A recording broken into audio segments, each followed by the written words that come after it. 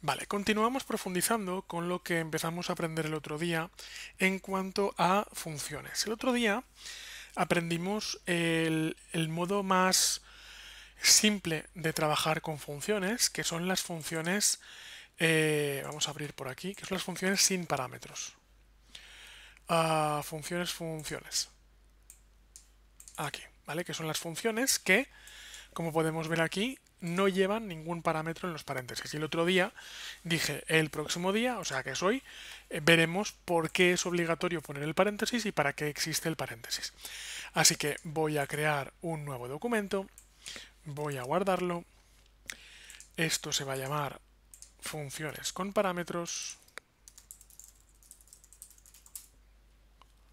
Vale, y a continuación lo que voy a hacer es, eh, por ejemplo, definir una función lo de definir una función en los cursos de Python lo suelo repetir mucho, definir una función para que la gente se quede con que def y no function es la palabra clave para crear funciones, ¿vale?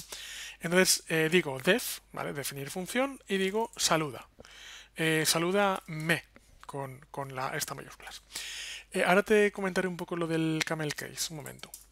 Entonces, salúdame, dice print bienvenido José Vicente.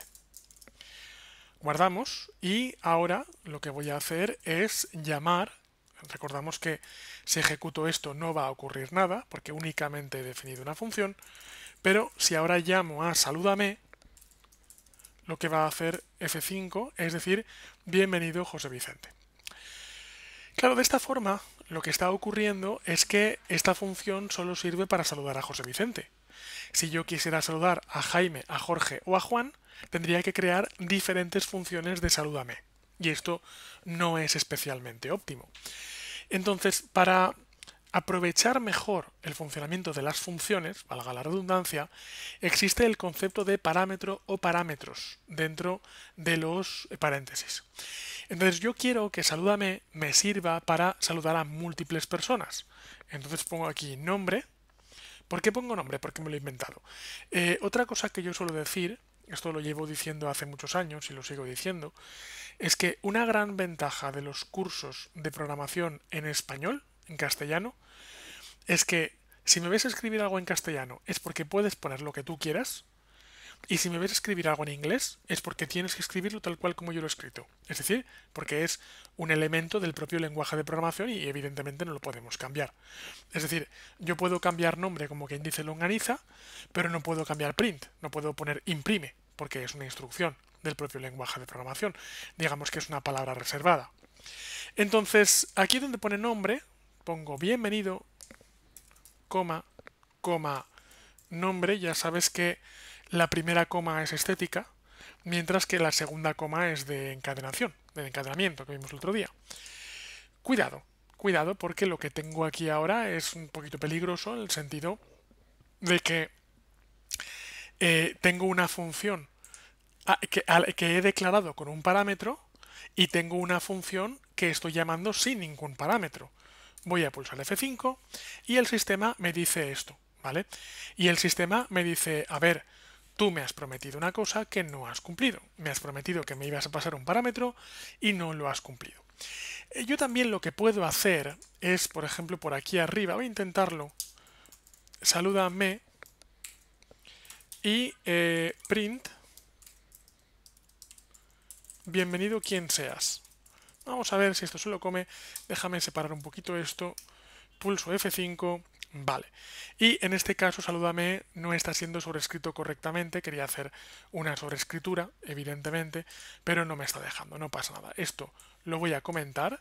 En format, acuérdate que puedo comentar, me lo comenta automáticamente. Y salúdame, en este caso lo que voy a hacer es poner José Vicente, hablaremos de las sobrecargas más adelante.